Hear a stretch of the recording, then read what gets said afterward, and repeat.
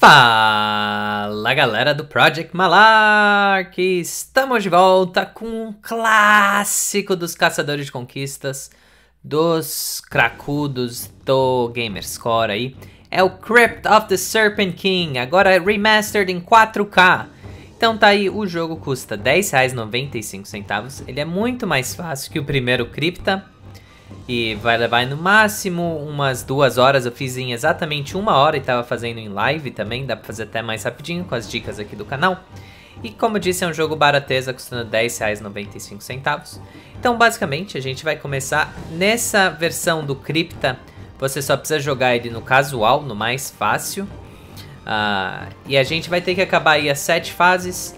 A gente vai ter que comprar a espada, que vocês vão ver agora custa 6 mil de ouro e basicamente matar os, os, os inimigos, pegar os baús e pegar a chave. Então aqui, como se vocês já jogaram o primeiro Crypta, que na verdade é, custa aí 4 reais, ele vale para o Xbox One. Esse aqui é só para o 4K Remaster, é só para o Xbox Series S e o Xbox Series um, S em X. Então aqui tá o jogo. Basicamente, o nosso objetivo é o, inimigo aqui vai bater na gente, a gente vai bater, ir para trás e daí bater no inimigo. Deixa ele bater, bate no inimigo. Daí a gente vai ganhar uma XPzinha e também vai pegar os dinheiros aqui. Tudo que a gente precisa fazer é acabar a fase. Para acabar a fase, você tem que achar as oito chaves e matar o chefão. E para achar as oito chaves, vocês estão vendo que tem um mapinha ali na esquerda. A gente vai sair caminhando pelo mapa. É, no começo aqui eu recomendo abrir todos os baús para pegar o ouro, para que a gente possa é, comprar a espada lá. A gente não vai ter dinheiro suficiente para comprar a espada de primeira, então a gente vai é, comprar uma arminha um pouco melhor para ajudar nas próximas fases e daí a gente pega a espada.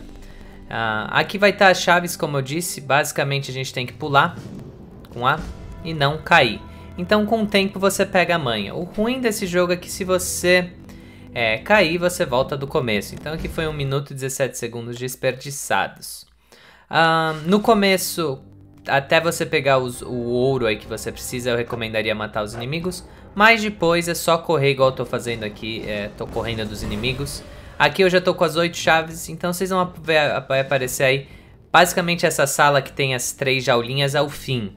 É a jaulinha aí que vai acabar a, a fase. Então a gente vai entrar aqui, matar o chefão. E vai ser isso. O chefão basicamente é a mesma estratégia dos inimigos.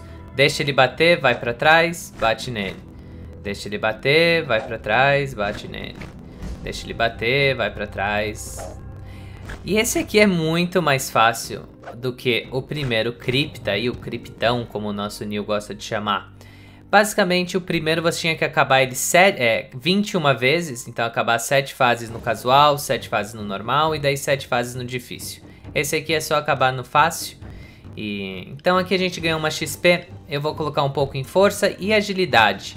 Eu diria que a agilidade é mais importante do que a força ali, o strength, então agilidade é o bom.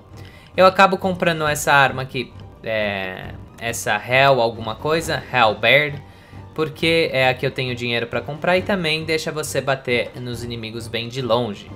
Então eu recomendo na primeira jogada aí a gente é, comprar ela. E vocês estão vendo que já liberou três conquistas pra mim. Por algum motivo não liberou na tela, então pegue aí ah, o primeiro baú, a primeira chave e acabe a primeira fase.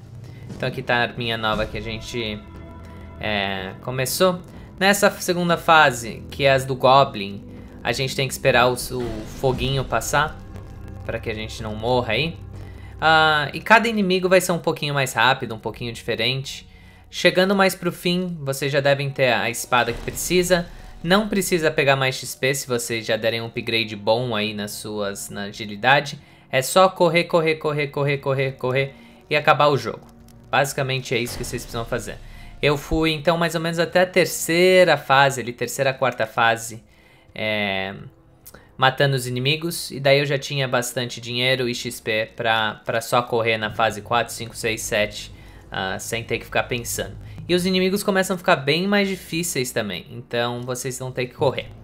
O jogo conta com esse sistema de música, então quando você escuta uma música mais alta, é porque tem um inimigo vindo de algum lado. Então fiquem ligados na música. Então aqui mudou a música, começa essa trum.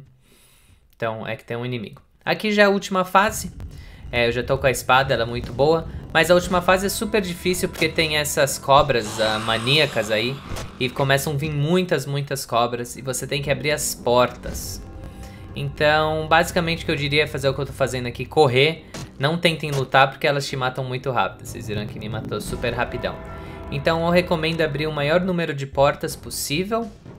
E depois... Uh, e daí você corre. Abre a porta, é, dá uma volta pra cobra não te morder, pega a chave e vai sempre abrindo. Viu uma porta, abre a porta. Viu uma porta, abre a porta. Porque daí abre várias passagens. Então aqui vocês viram que eu abri uma porta. Tô correndo pra trás e abrindo outra porta. Vou pro outro lado ali abrir outra porta. Então é isso aí, galera. Espero que vocês tenham gostado. Deixa o joinha, se inscreve aqui no canal. Dá uma olhadinha aqui embaixo para virar um padrinho. Deixa aquele joinha. E é isso aí. Bora fazer a conquista. Sardia Monarch US. Câmbio. Desligo.